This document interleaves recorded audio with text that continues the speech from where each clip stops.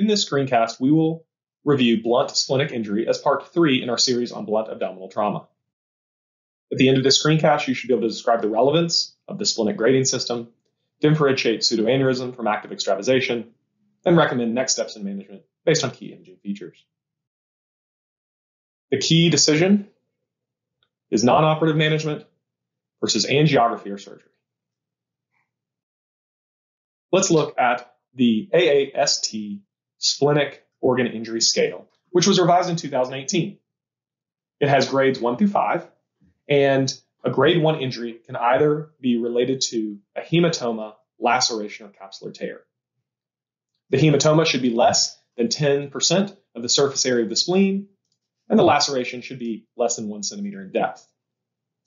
The capsular tear should be a minimal injury to the surface of the spleen. A grade 2 injury, again, can be a hematoma, and in this case, the hematoma should occupy less than 50% of the surface area. You can have an intraparenchymal hematoma, similar to what we described in the liver, but in this case, the hematoma must be less than 5 centimeters, where in the liver it's less than 10 centimeters to qualify as a grade 2 laceration. Similar to the liver grading scale, a laceration of the spleen that's less than 3 centimeters in depth will be classified as grade 2. Grade 3 injuries are going to be, again, similar to that liver grading scale, in this case, greater than 50% of the surface area of the spleen, a hematoma that is greater than 5 centimeters in diameter but shows no evidence of active extravasation or pseudoaneurysm, or a laceration greater than 3 centimeters in depth. A grade 4 splenic injury is a severe injury that often requires some form of intervention. In this case, any vascular injury or active bleeding that is contained within the spleen is going to be considered a grade 4 injury. So that could be a pseudoaneurysm, a focus of active extravasation, or an arteriovenous fistula, which is very difficult to differentiate from a pseudoaneurysm on CT. You could also have a large laceration that causes devascularization of a portion of the spleen or central hilar vessel or segmental vessel involvement. These grade 4 injuries are often going to require some form of intervention, preferably angiography, but if a patient is not hemodynamically stable after aggressive resuscitation, operative management may be required.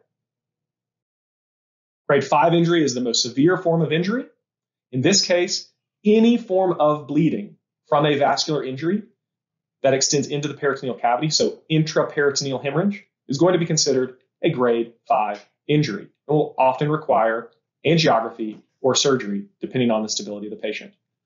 Another type of grade 5 injury is a shattered spleen, in which there is devascularization and multiple regions of laceration that extend throughout the spleen. Again, this can oftentimes be treated with angiography if the patient is hemodynamically stable, but if after resuscitation the patient cannot maintain stability, surgery may be required. Now let's look at a few cases of splenic injury. Here we have a small two centimeter laceration of the spleen. On arterial phase, we can see associated with that laceration a small focus of dense contrast in the region of that laceration that is similar in density to the aorta. On the portal venous phase, we can see that region of contrast ex- has expanded or changed its size and shape. That is our first indication that this could be a region of active extravasation. It also, in this case, is closely mimicking the aorta, but will often maintain more density than the aorta. On the delayed phase, we can see that that region continues to enlarge and maintain some foci that are more dense than the aorta, and this is consistent with active extravasation from a small laceration. So even though the laceration was two centimeters, the active extravasation into the peritoneal cavity results in a grade 5 injury.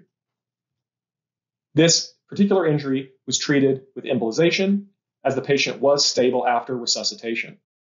Here we have another example of a splenic injury. This was a woman who's riding a motorcycle. And in this case, we see a laceration here through the spleen. We see a splenic hematoma. But in addition, we have this focus of high density in the spleen. This is consistent with a vascular injury, and we now would like to further classify that vascular injury as either a pseudoaneurysm or active extravasation. In this case, on the portal venous phase, we can see that the vascular injury closely parallels the aorta in density. On the delayed phase, there is also density very similar to the aorta, albeit maybe slightly more dense. Again, on the portal venous phase, we see this well-defined area. Okay? And on the delayed phase, notice that we don't see this area change shape.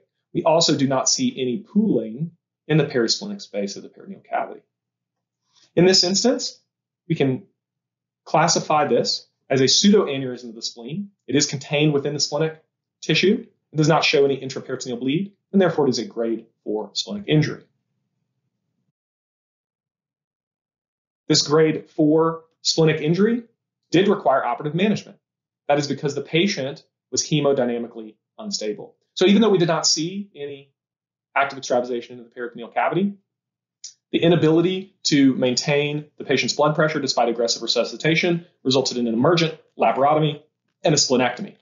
Ideally, if this patient could have been hemodynamically stable after resuscitation, this pseudoaneurysm could have been treated with embolization. So we have two different instances. One, grade 5 injury treated with embolization because the patient was stable. Another instance of a grade 4 injury that was treated with surgery because of patient instability. Another case, we have an unrestrained driver in a motor vehicle collision. On the arterial phase, we see multiple foci of high density along the inferior pole of the spleen. We also see quite a bit of fluid within the peritoneal space around the spleen. On the portal venous phase, those areas of density become more prominent, possibly due to slight enlargement of those areas. On the delayed, we see those regions become diluted and are not quite as prominent, but are more amorphous than they were on these prior phases. This was felt to represent active extravasation, and we may even see a little bit of pooling in the perisplenic space. This person was taken to angiography. On the angiography, they did detect some active extravasation from the lower pole of the spleen, and this was treated with coil embolization. Here we have another case of splenic injury, in this case, a 26 year old who fell into a toolbox in his pickup truck bed. Unlike the other cases, we had a non contrast image in this patient that showed a large hematoma with some mixed density along the spleen. This covers more than 50% of the splenic surface and is therefore at least a grade 3 injury. On the portal venous phase, we see this region of linear, sort of ill defined hyperdensity consistent with contrast along the splenic capsule. We also can see that the hematoma appears to have gotten larger.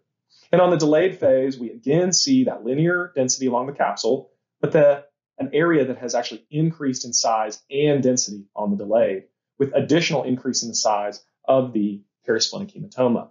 Because of the changing in the size and the persistent density of this abnormality, this is more consistent with active extravasation into the peritoneal space.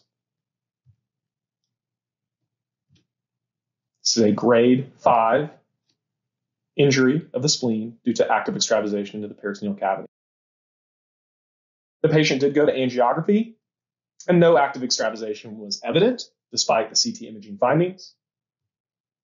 The patient was prophylactically embolized with gel foam, at times with expanding hematomas or appropriate patient positioning. There can be tamponade of active extravasation, and that can impact the diagnostic sensitivity of angiography. But to ensure that active extravasation does not restart with patient positioning or movement, or in the future, gel foam embolization can reduce the risk of rebleeding. In summary, the revised AAST scale really focuses on vascular injury. Grade 1, 2, and 3 splenic injuries are almost always managed non-operatively. Grade 4 injuries are severe injuries, often with some form of vascular injury, but that vascular injury is contained within the spleen. Grade 5 injuries are either a shattered spleen, which is completely devascularized, or a spleen that has some vascular injury with bleeding into the peritoneal cavity. Again, management is not dependent on the grade, but is dependent on the patient's hemodynamic status.